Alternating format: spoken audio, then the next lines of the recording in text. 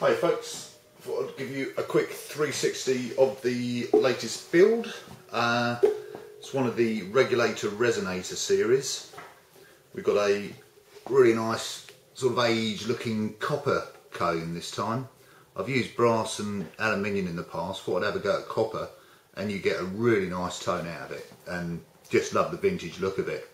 Uh, which is why I sort of followed that through with a box giving it a nice dark stain. That's, uh, what was it, dark teak uh, with a lacquer finish. Uh, traditional F-holes there. I sort of changed the style of those, made them slightly bigger, a little bit more sound out. And you see they got uh, brass mesh covering to the inside there. Uh, we've got a pig squealer pickup there by the neck. Uh, think on my homemade sewing machine winder I got 7,500 winds on that. It's a really nice punchy pickup. Does sound uh, does sound good that one. So there's the box. We've gone for the mandolin tailpiece. Very easy to change the strings. Just slide the cover off, slot the strings through, job done. Uh, the cone, I should have said, comes all the way from Texas. Uh, old pal there, old low, spins these out in his uh, little Texas workshop and they sound absolutely beautiful. Uh, the biscuit and bridge, uh, the biscuit is Sapele and uh, the bridge I made from oak and you get a nice tone from the two of those. Uh, deckled up the biscuit there with the Texas tone cone. Again you got some decals up here and around the actual cone itself. This one's the Regulator Mark III. Uh, it's not on the website yet because uh, Mick from Lancashire has got first uh, first shouts on this one. Uh, volume controls, uh, volume gone for the, the brass T-bar look. I just think it suits this style of build, so I've gone for those. Got your tone there, volume there.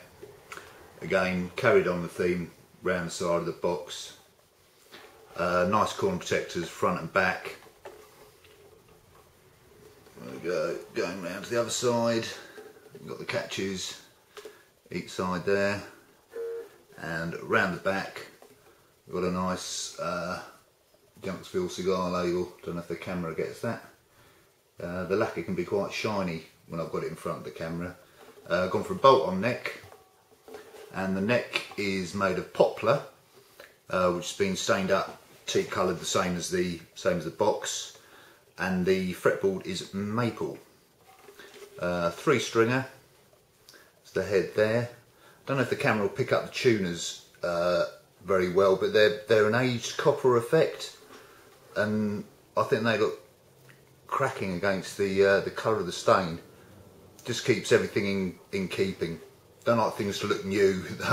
you know, traditional guitars like this should still look a bit old and worn, few marks. You know, they've got to be uh, in keeping. So, uh, so there is the latest one, the Regulator Mark III. Uh, nice loud cone, and again with the with the holes, you get a bit of sound out here. If I can just balance it in front of the camera.